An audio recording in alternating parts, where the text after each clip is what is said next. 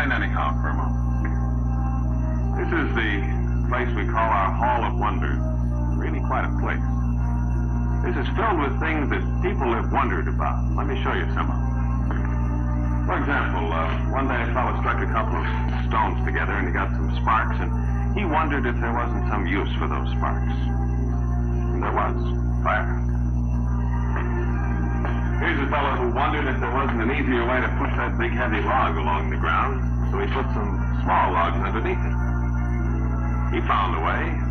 Now we call it the wheel. Here's a very famous wanderer over here, Mr. C. Columbus, gentleman who wondered what was over the horizon, and the man who went and looked and found the world's greatest and most beautiful real estate development. Then the American pioneers, they were wanderers too. They kept wondering what was over this mountain range and the next mountain range. Fact, we Americans have been wanderers since our very first days.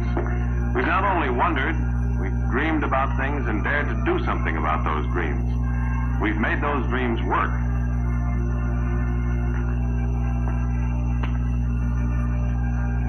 Alexander Graham Bell here. He wondered if he could send a voice through a wire. Tom Edison wondered. He wondered if he could uh, perhaps light the world through a wire. And the Wright brothers wondered. Wondered if man could fly. And here are a couple of, of wonderful people. They're wonderful because they inspired those others. And they're real people. And you ought to know them. In fact, if you don't know them, you're not in business. Because that's the American consumer family.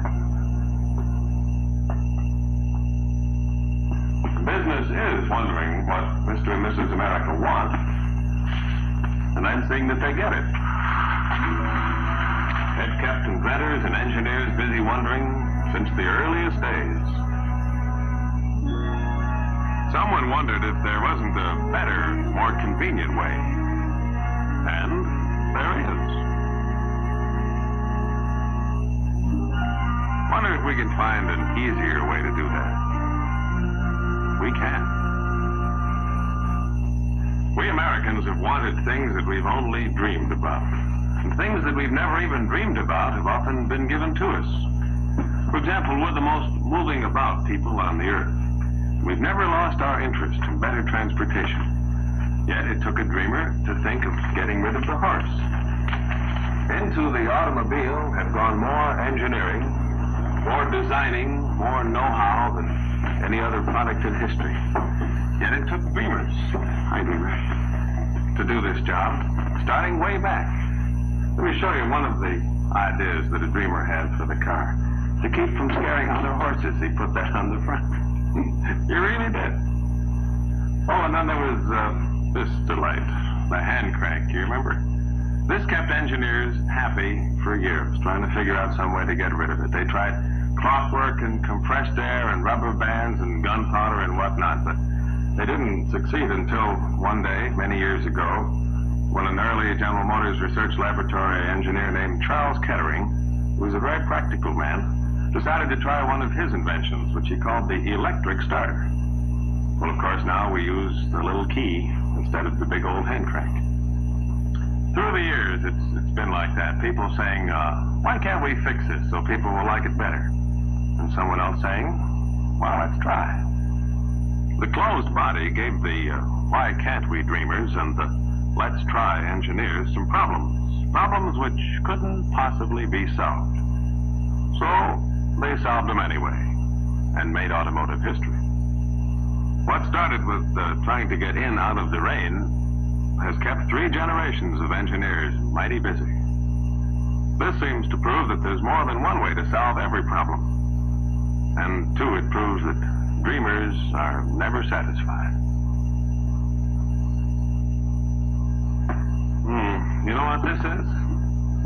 It's one of those old floor-mounted gear shift levers. Hmm, once a lot of people wondered if we couldn't get along without these.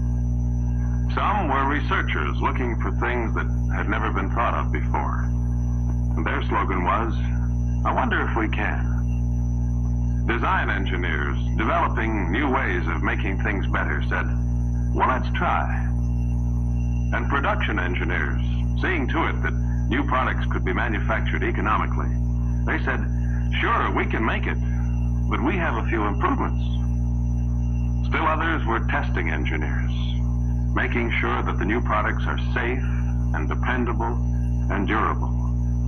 And many, many times they said, it works, but we can make it better.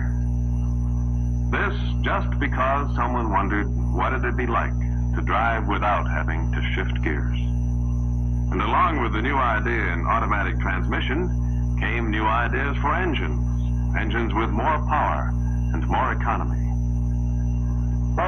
sitting in a car like this several years ago and uh, I'd said to you, gee, wouldn't it be swell if steering were real easy like this, especially when you're standing still? Well, you would have said to me, we're already working on that. And so we have been for a long time. We make a few thousand drawings and blueprints. We build and test, oh, maybe a hundred experimental models. Then, if we and the practical designers and the hard-headed production men and the skeptical testers have done our jobs right, well, then the factory men can turn yesterday's dream of effortless power steering into today's reality. Now that looked easy, didn't it? And I'm not a bit tired. I want you to see an exhibit now of early American art, one that I whipped up uh, back in the fourth grade. This is the Garraway Dream Car, a real super duper Macaroni special. I was mighty proud of this, I remember. Of course, I didn't have much to go by about this time. I remember Dad had just traded in the family car, which looked like this, for a brand new beauty. Every few years, the family pride and joy would get traded in on a new model. And you can see for yourself how more than 40 years have changed her. Advanced styling has always been the result of designers dreaming a little ahead of the public's desires and engineers making those dreams practical as soon as the public was ready for them. And even while Mr. and Mrs. America are enjoying today's family car with all its comfort and performance and safety and economy, the designers and the builders and the testers are already at work to make it better for tomorrow. Well, there's been a lot of change for the better in this department, too. I remember my mother used to say there's a little of the boy in every man and a little of the tomboy in every girl. I think she was right. I think that explains the way we feel about sports cars these days. Well, here's about the happiest automobile I've ever seen. The men who designed this had fun. And the builders and the testers had fun. And while it's never going to take the place of the family car, I, for one, am going to have a lot of fun owning it. Now, this could never have happened unless the world's largest manufacturer of automobiles had put its tremendous resources back of the job of designing and building a sports car to uphold American leadership in every field of transportation. They built her to handle like an angel, with every ounce of weight right where it belongs for perfect balance, clean and sleek and efficient looking, and light and strong. They kept the cockpit simple and practical. For the power plant, they started with the finest valve and head engine. Some extra special features of higher compression, triple side draft carburetors, and dual exhaust give her 160 horsepower. Naturally, the automatic transmission quadrant's on the floor. That's in keeping with sports car tradition. In addition to the speedometer, there's a tachometer to measure engine revolutions. They call her Corvette, and she belongs to the highway just for the sheer and simple joy of driving, for the open road and the country byway, for Mr. and Mrs. America in a carefree mood. Boy, what a car.